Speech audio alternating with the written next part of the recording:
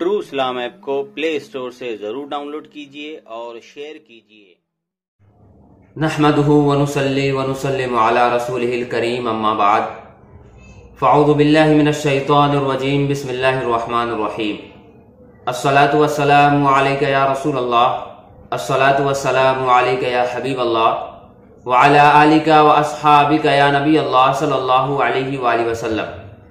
پیارے ناظرین و سامعین، السلام علیکم ورحمۃ اللہ تعالی وبرکاتہ۔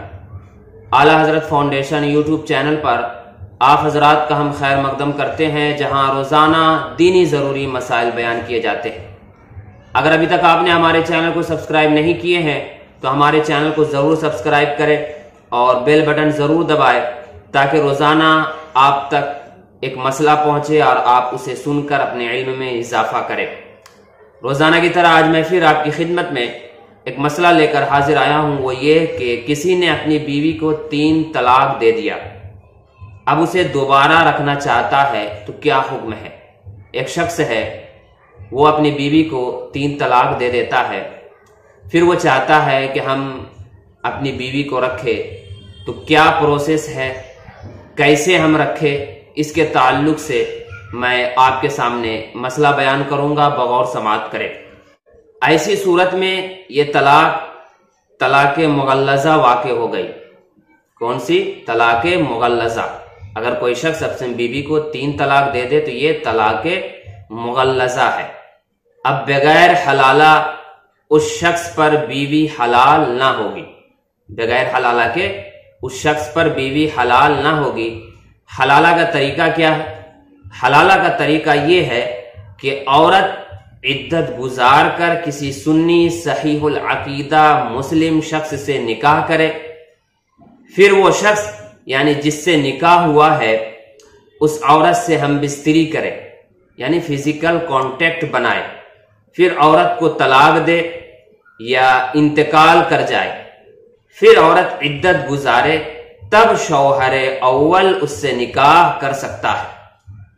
اللہ عز و جل فرماتا ہے، فَإِن طَلَّقَهَا فَلَا تَحِلُّ لَهُ مِن بَعْدُ حَتَّى تَنْكِحَ زَوْجًا غَيْرًا جس کا مفہوم ہے کہ اگر کوئی شخص اپنی بیوی کو طلاق مغلظہ دے دے، تو وہ شوہر اول پر اس وقت تک حلال نہیں ہوگی جب تک وہ شوہر ثانی سے نکاح نہ کر لے اور اس سے ہم بستری نہ کر لے۔ تو پیارے سامعین و ناظرین، یہ تھا آج کا مسئلہ۔ جو آپ کے سامنے پیش ہوا مسئلے کا جو خلاصہ ہے، وہ میں بیان کر دیتا ہوں آپ کے سامنے۔